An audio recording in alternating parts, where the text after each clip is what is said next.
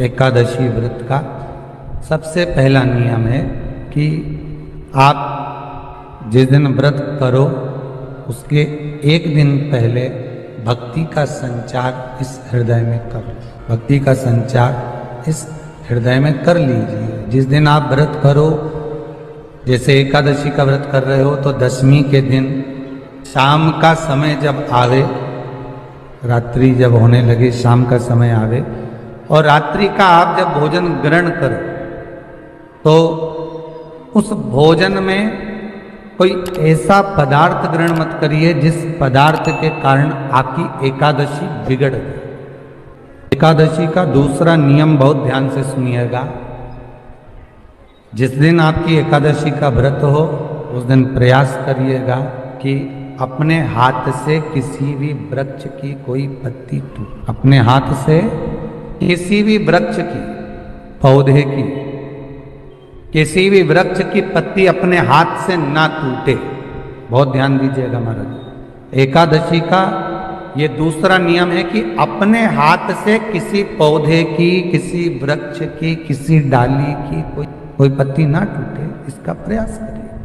यहाँ पर तीसरे नंबर का जो, चौथे नंबर का जो उपाय बताया है, उपवास करने का जो नियम बताया, उसमें वर्णन किया एकादशी के दिन अगर आपका व्रत है तो आप भूलवश भी डब्बे में रखी हुई रोटी गाय को ना देते हुए कुछ थोड़ा सा फल, फलहार, कोई केला, कोई सेब, जो आप खाते हो, अंगूर, पपीता, जो आप ग्रहण कर रहे हो, उसका थोड़ा सा भाग आप गाय को प्रदान करो। आप गाय को दीजिए।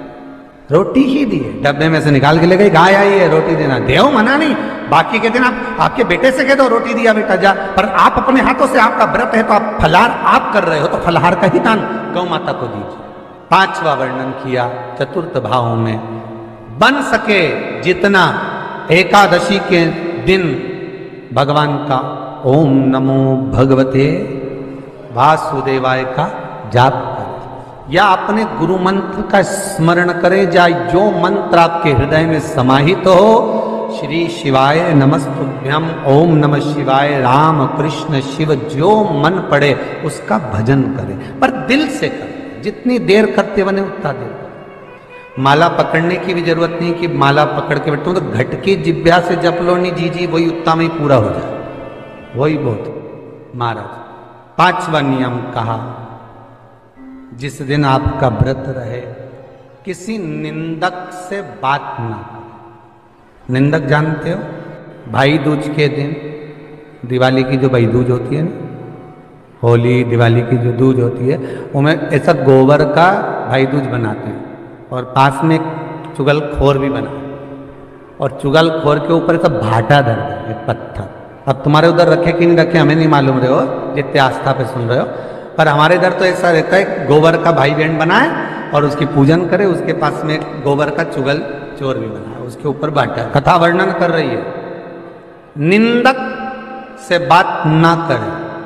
मान लो किसी ने आकर आपको निंदा कर भी दी तो तुरंत सूर्य नारायण भगवान का दर्शन करें और तीन बार उनका दर्शन कर कर नेत्र बंद करें, तब जाकर वो निंदा जो अंदर गई है अंदर पवित्रता प्रदान करेगी, तब जाकर एकादशी का व्रत लगेगा। पहले तो प्रयास करो, अगर जो निंदा करने आता है ना तो उसको उस दिन, एकादशी वाले दिन दरवाजे पे लिख दो कि चुगल चो।